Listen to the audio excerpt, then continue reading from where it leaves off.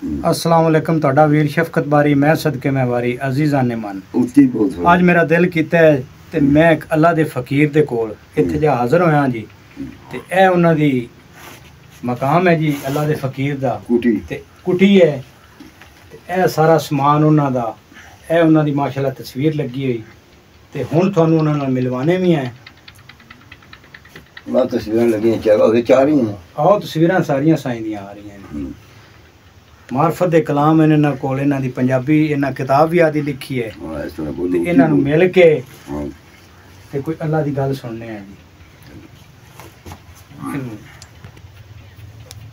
السلام علیکم میں تھوڑی دیر پہلے تانوں گل کیتی ہے کہ اللہ دے فقیر نو میں ملن گیا جی اے میں انہاں دے کول بیٹھ گیا جا کے تے اپا انہاں نال گل کرنے ہیں اے اللہ دے فقیر سائیں فیض اللہ سلانی چوچک تو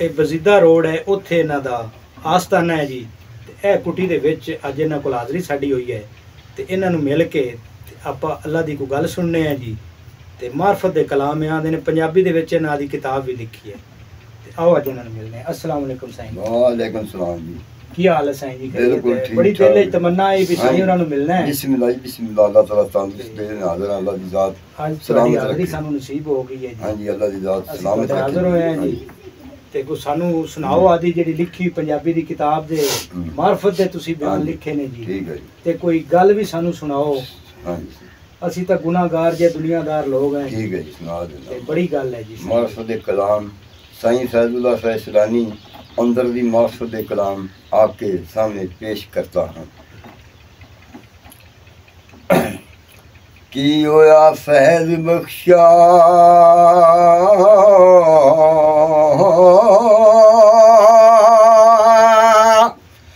ਤੋ।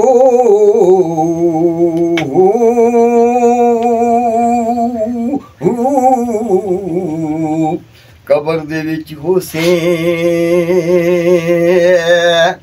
ਤੇ ਤੈਨੂੰ ਕੀੜੇ ਮਕੌੜੇ ਖਸਨ ਫੈਜ਼ ਬਖਸ਼ਾ تو قبر چناؤ سے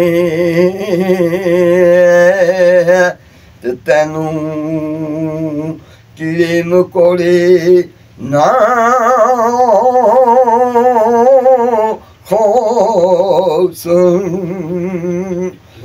میں تمہاری آنکھوں نہیں کا جلوہ دیکھ رہا ہے۔ جان بھی چلی جائے۔ جان بھی چلی جائے۔ دل بھی چلا جائے۔ ساری چلا جائے روح بھی چلی جائے آخری بھی چلی جائے۔ ایک میرے یار دا جلوہ جو آنکھ میں نظر آ رہا ہے وہ جلوہ نہ جائے نہ جائے۔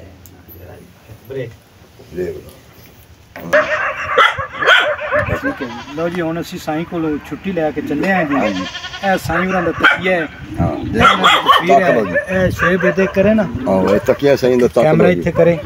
ਆ ਸਾਰਾ ਵਿੱਚ ਲਿਆ ਤਕੀਆ ਸਾਈਂ ਦਾ ਵੀ ਤਾਕਤ ਹੋ ਇਹ ਸਾਈਂ ਨੇ ਸਾਨੂੰ ਅਦਬ ਦੇ ਨਾਲ ਮਹਿਮਾਨਾਂ ਨੂੰ ਸੁਨਤ ਦੇ ਮੁਤਾਬਕ ਸਾਨੂੰ ਬਾਹਰ ਛੱਡਣ ਆਏ ਨੇ ਜੀ ਸਾਈਂ ਬੜੀ ਗੱਲ ਹੈ ਜੀ ਇਹਨਾਂ ਦਾ ਪਿਆਰ ਹੈ। ਹਾਂਜੀ ਇਹ ਸਾਈਂ ਜੀ ਝੰਡੇ।